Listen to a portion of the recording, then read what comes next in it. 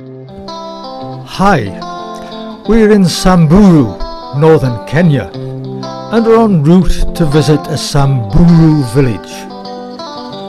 But once again, we are delayed, having to change a damaged wheel on our safari vehicle.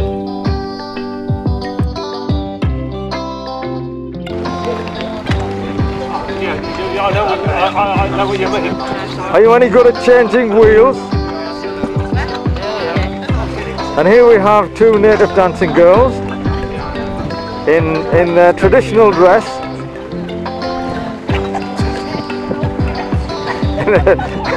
and uh, I think this is the early morning plumage.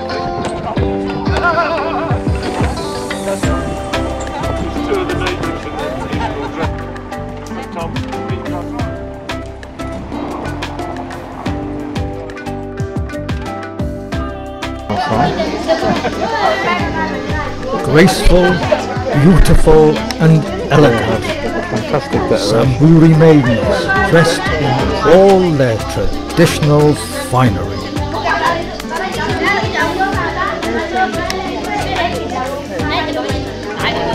The Samburu are semi-nomadic pastoralists and even today they live a traditional way of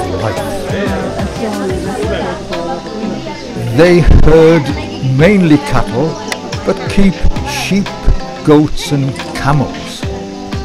Okay, now thanks very much. Samburu women have little status.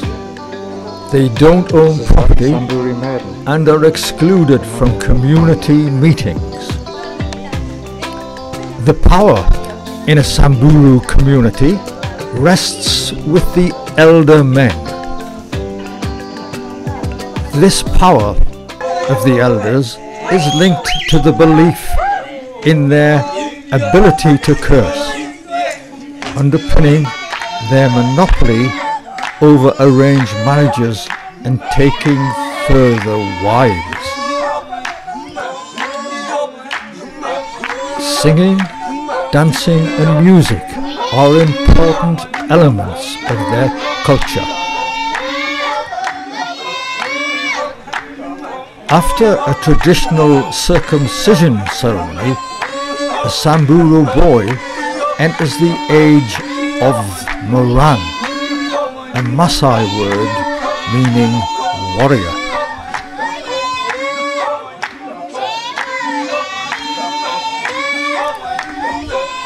Samburu girls are also circumcised, a rite that signifies the transition from girl to woman. Due to the efforts of the Kenyan government and other agencies, there's been a remarkable reduction in female circumcision and child marriages.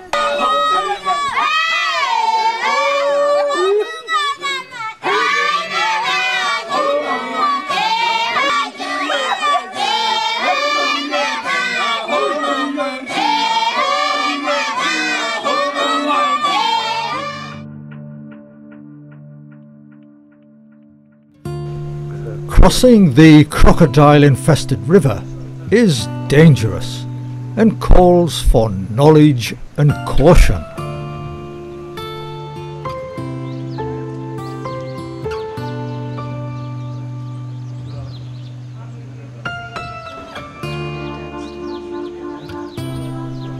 The herd matriarch takes the lead.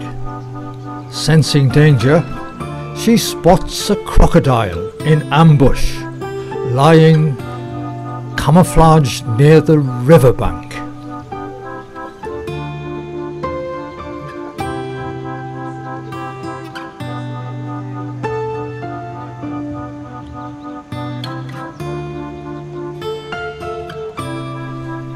Facing off the crocodile, she protects the calf from ambush.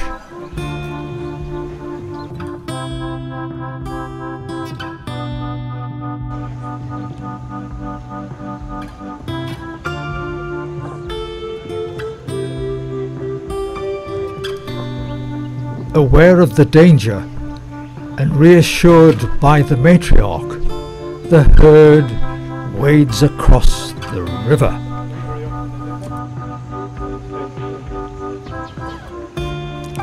The younger elephant stops, sensing danger. A gentle push by the older, more experienced elephant overcomes its fear. The Ewaso Ng'iro River has a large population of dangerous, cunning Nile crocodiles.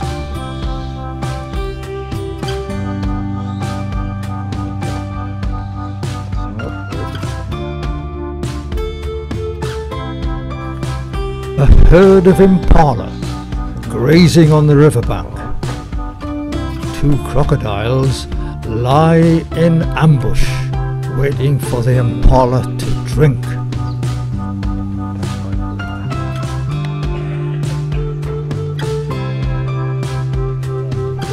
The male impala senses danger.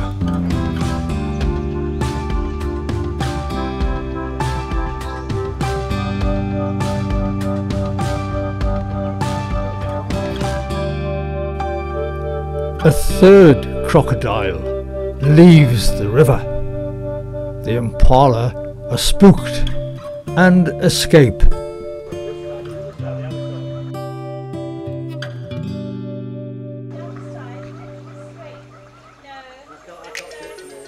Oh, there's two.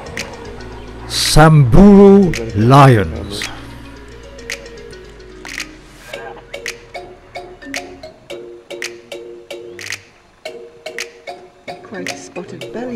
Lions are the most sociable of all the big cats. It's the cub. A large pride, chilling out and having fun. And go down, can you? He's just a learner. He's gonna jump. Come on, jump. The pride oh, consists of related females whom have strong bonds and feed and look after one another's cubs.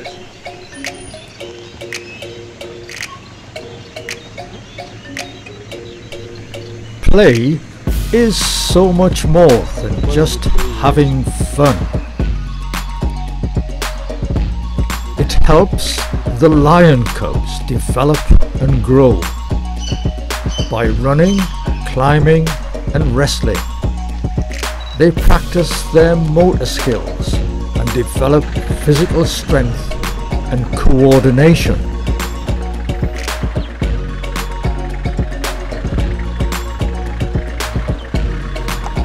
Play also enriches their minds. Mental stimulation builds big, clever brains. The other, the other female's off.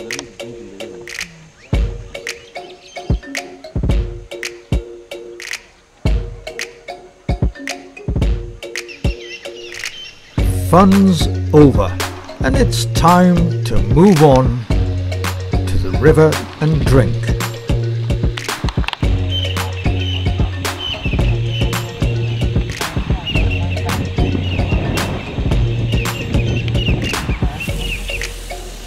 Yes. Bill, it's time for a drink. Yeah. Absolutely, aren't they? A phalanx of marabou storks. The lions are coming in. Marabous are remarkable birds, having a wingspan of 7 to 9 feet. They can fly as high as 13,000 feet. Baby. It'll become for a drink in a moment. Without these beautiful life-giving waters, nothing that lives would live.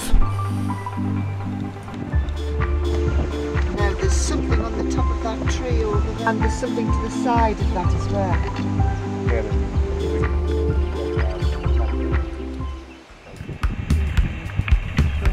Elephants are highly social and intelligent creatures, and they demonstrate behaviors we would recognize as compassion, kindness, and altruism. Herds are led by the oldest experienced female, the matriarch. The elephant's trunk is an amazing thing. With a muscle count of between 40,000 and 150,000 muscles, the trunk of an elephant is amazingly dexterous. It's both gentle and strong. Its trunk is capable of killing a lion or caressing a frightened elephant calf. It can pick up objects as small as a coin.